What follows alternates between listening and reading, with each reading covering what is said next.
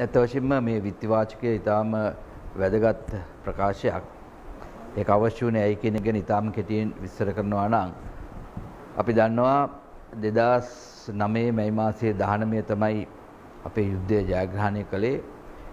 ඊට පස්සේ මැයි මාසයේ 27 වෙනකොට ජර්මනිය රටවල් 17ක් සමග එකතු වෙලා විශේෂ සැසිවාරයක් ඉල්ලලා එක්සත් ජාතික සංගමයේදී අපිට විරුද්ධව යෝජනාවක් ගෙනාපු වෙලාවේ නොබැඳුණු රටවල් සහ ආසියාවේ රටවල් දකුණු ආසියාවේ රටවල් එකතු වෙලා ඒ යෝජනාව පරද්දලා අපිට හිතවාදී ධනාත්මක යෝජනාවක් සම්මත කරගත්තා.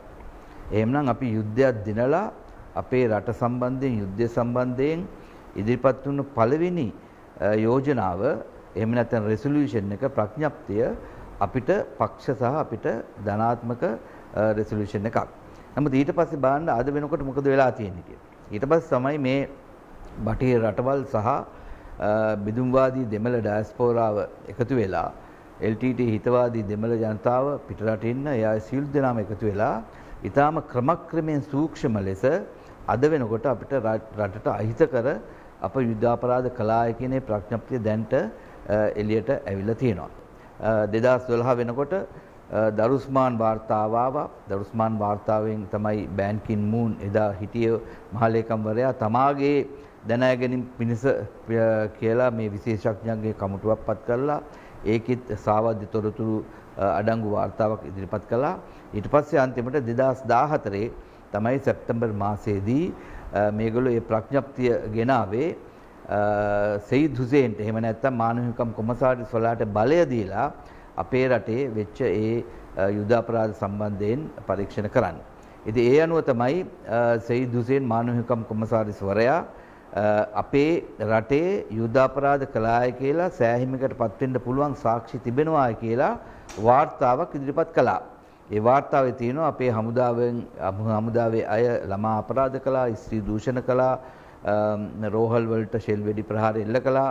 එතකොට දෙමළ ජනතාවට දෙන්න තියෙන ආධාර හිතාමතාම වැළැක්වුවා කියන මේ මහා යුද අපරාධ කලාය කියන ඒ කලා කළ බවට සාක්ෂි තිනවායි කියන ඒ සාවද්‍ය වාර්තාව මංගල සමරවීර විදේශ ඇමතිවරයා අගය කරමින් පිළි අරගෙන ඇමරිකා එක්සත් ජනපදය සමග අපිට විරුද්ධව තියෙන මේ ප්‍රඥප්තියට සම අනුග්‍රහකත්වය දැක්වුවා.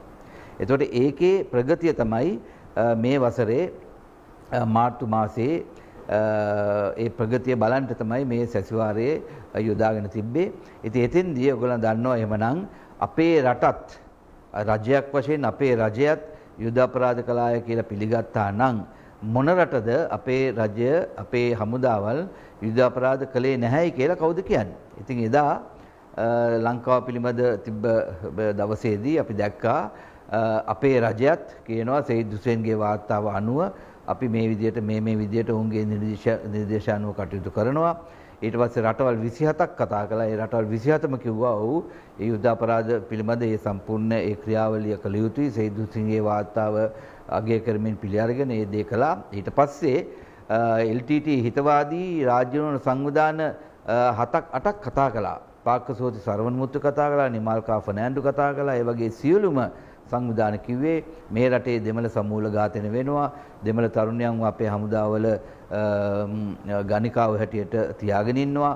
ඉතින් මේ වගේ අස්භූත අසත්‍ය චෝදනා කරමින් තමයි ඒ සැසිවාරය ඇත්ත වශයෙන්ම ගෙනෙච්චේ. ඉතින් මේක අපි වෙන බව දන්න නිසා අපි මොනවද කළේ ඊට ඉස්සෙල්ලා ගෝලීය ශ්‍රී ලංකන් සංසදයේ අනුග්‍රහයෙන් අපි විද්වත් මණ්ඩලයක් අපි පත් කළා. ඒ පත් කළා මේ රාජා ගුණරත්න ප්‍රවීණ නීතිඥවරයෙක් ජාත්‍යන්තර නීතිය ගැන හසල දැනුමක් තියෙනවා. එතුමා ඒතකොට දර්ශන් වීරසේකර, ශිනාලි වඩුගේ, ශර්මින්ද ශමින්ද ෆර්නෑන්ඩු, කල්යාණ තිරානගම මේ වගේ විද්වත් මණ්ඩලයක් පත් කරලා මේ සෙයිද් හුසේන්ගේ වාර්තාව තියෙන අසත්‍ය බව සම්පූර්ණයෙන්ම අපි ඊටාම කරුණු සහිතව අපි සනාථ කළා.